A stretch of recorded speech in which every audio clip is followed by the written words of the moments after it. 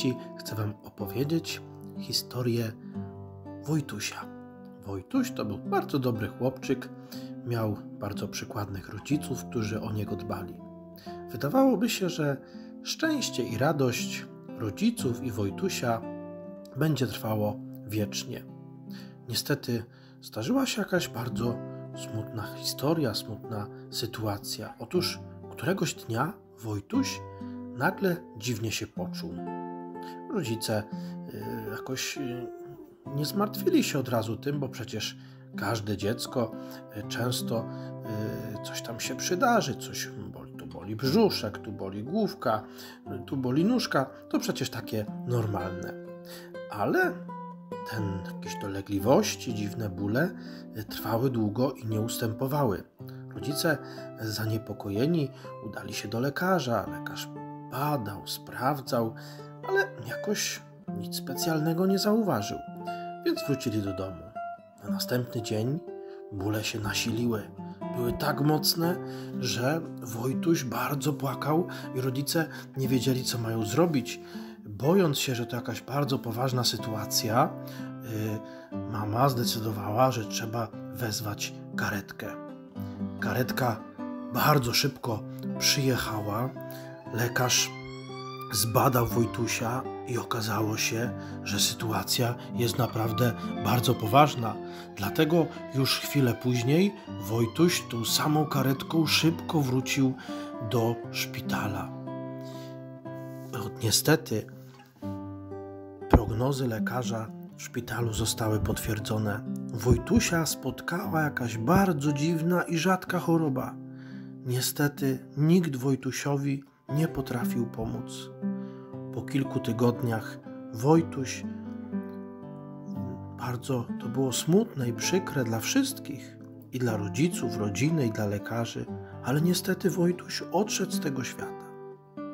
Ale słuchajcie, co się stało dalej. Kiedy Wojtuś otworzył oczy, był bardzo zdziwiony. Wokół wszystko jakieś takie inne, jakieś takie nowe, dziwne. W ogóle nie, nie wiedział, gdzie jest, co się z nim stało. Na to przyszedł jakiś pan i mówi: O, witaj Wojtuś, czekaliśmy na ciebie. Wiem, że smutna ta historia, przyszła taka jakaś dziwna, trudna choroba, ale Wojtusiu, spokojnie. Wszystko w rękach Pana Boga. A, a kim Pan jest? No, myślę, że o mnie słyszałeś na ziemi. Pewnie nie raz, jak byłeś w kościele. Może ksiądz na kazaniu opowiadał, a może z mamą czy babcią czytałeś Biblię. Więc ja jestem święty Piotr. To, to pan jest święty Piotr? To gdzie ja jestem? No jak myślisz, Wojtusiu? No właśnie, ja byłem przed chwilą jeszcze w szpitalu. Tak, ale już twoje życie się zakończyło, więc witamy w niebie. Ojej, naprawdę jestem w niebie? No tak, chodź, wszystko ci pokażę. I Wojtuś poszedł ze świętym Piotrem zwiedzać niebo. Co tam było radości? Wojtuś zobaczył swojego zmarłego dziadzia. Spotkał się też z tatą e, swojego kolegi, który w tamtym roku zginął w wypadku samochodowym. To takie trudne sprawy, ale, ale Wojtuś no, szybko y, poznawał kolejne pomieszczenia, kolejne osoby. Był bardzo tym wszystkim zachwycony i zdziwiony. W głowie mu się nie mieściło, ale trochę mu się też przypominało, jak to y, w kościele ksiądz opowiadał, jak niebo y, czeka Pan Jezus, Matka Boża i, i wszyscy święci. I trochę przypominało mu się z katechezy z przedszkola, i wszystko jakoś zaczęło się razem składać, i jego wyobrażenia spotkały się właśnie z rzeczywistością nieba. Gdy tak zwiedzali, gdy tak zwiedzali, w pewnym momencie Wojtuś poczuł, że coś mu chyba burczy w brzuszku. I mówi święty Piotrze, tak Wojtusiu, bo ja chyba, bo ja chyba troszkę głodny się zrobiłem. O, rozumiem, to w porządku. Nic się nie martw. W takim razie zapraszam, pójdziemy do kuchni. Kiedy Wojtuś szedł do kuchni, bardzo się zdziwił. Zobaczył, że sama Matka Boża gotuje zupę. Ale cóż to była za zupa? Taki wielki garnek, a w nim Matka Boża tą zupę mieszała ogromną łyżką, no chyba dwa metry długości. Niesamowite Wojtuś nie mógł zrozumieć, o co w ogóle chodzi. Pyta, święty Piotrze, a po co, po co Matka Boża ma taką, taką wielką łyżkę? Po co taka potrzebna? A Wojtusiu, zaraz zobaczysz. Zaczekaj chwilę, y, za chwilę będzie obiad, wszystko się przekonasz. Kiedy wybiła godzina obiadu, nagle przybiegło bardzo dużo dzieci. Wojtuś był zdziwiony, ale okazało się, że przecież ludzie na całym świecie giną w wypadkach, zdarzają się różne choroby, i okazało się, że w niebie, tak jak i on, jest wiele innych dzieci, które przedwcześnie niestety odeszły ze świata i teraz są tutaj. Dzieci grzecznie usiadły w kółeczku, Matka Boża przyniosła talerze, rozłożyła, później przyniosła e, ten wielki garnek zupy i tą wielką łyżką każdemu dziecku nalała zupę. Ale Wojtuś tak się porozglądał i myśli sobie: Ojej, ale, ale przecież nikt nie ma łyżki, jak my będziemy jeść?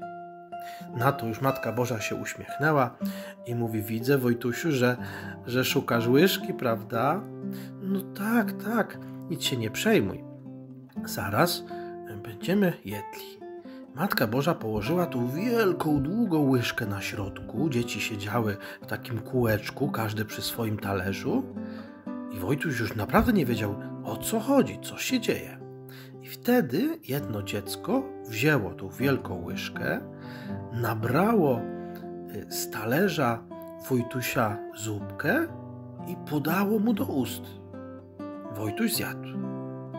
I dziecko mówi: Teraz twoja kolej, Wojtusiu, teraz ty nakarm mnie. Wojtuś, bardzo zdziwiony, wziął tą długą łyżkę, odwrócił, nabrał z talerza tej dziewczynki, podał jej do ust i tak po kolei wszystkie dzieci nawzajem się karmiły. To było niesamowite, niezrozumiałe, ale właśnie tak się karmili. Wojtuś już nie zadawał pytań.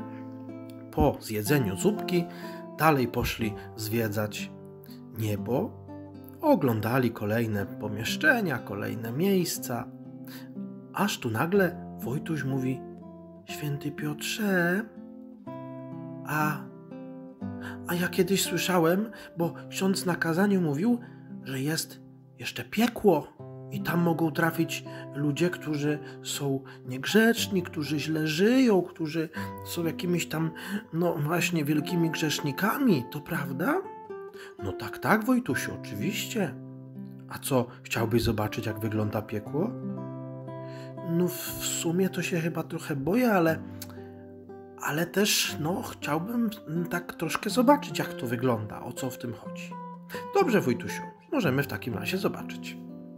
I wtedy święty Piotr zabrał Wojtusia i znaleźli się w piekle. Początkowo Wojtuś mówi, no ale, ale, ale święty Piotrze, przecież, przecież tu wszystko tak samo wygląda. To na pewno jest piekło? No tak, Wojtusiu. No ale, ale, ale tu też są, też są ludzie, no, też mają różne różne fajne rzeczy i widzę, że są zabawki i, i piękne e, widoki.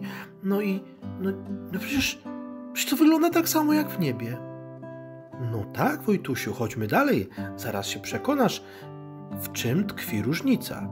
Wojtuś nie bardzo mógł zrozumieć, o co chodzi. Przechodzili z pomieszczenia do pomieszczenia. Wszystko wyglądało tak samo jak w niebie. Zatem o co chodzi? No to, to różni się to piekło czymś od nieba, czy nie? Święty Piotr uspokajał Wojtusia, mówi Wojtuś, chodźmy, zobacz, zobaczysz, przekonasz się na własnej skórze, jaka jest różnica. Weszli wreszcie do kuchni. I wtedy Wojtuś zobaczył garnek ten sam. O nie, nawet taka sama łyżka. Zapach zupy bardzo ładny, taki sam jak w niebie.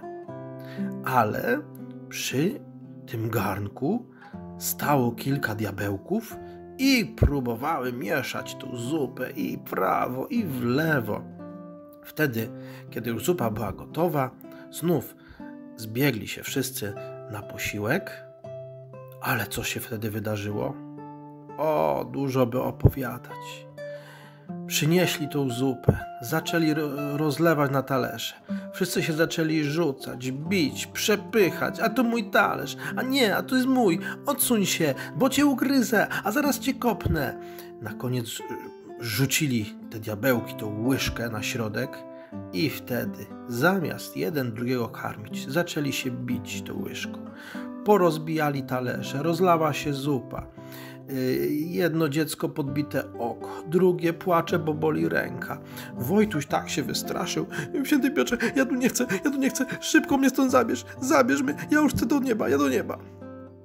I oczywiście w mgnieniu oka znaleźli się w niebie. A jaki morał z tej bajki, z tej naszej Bożej opowieści? Ano taki, że w niebie panuje wielka miłość, zgoda, szczęście, a piekło, choć często nas łudzi jak każdy grzech i kusi, to jednak, choć niby wszystko w, nie, w piekle podobne, to jednak jest wielka różnica. W piekle, gdzie są diabły, tam panuje nienawiść, złość, nie ma miłości. I tam wszyscy są smutni i przygnębieni. Dlatego i tak, postępuj tak, żebyś zawsze trafił do nieba.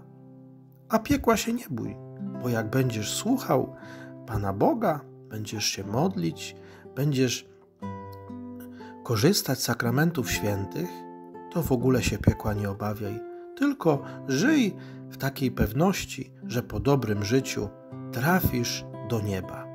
Szczęść Boże, do usłyszenia w następnej Bożej opowieści.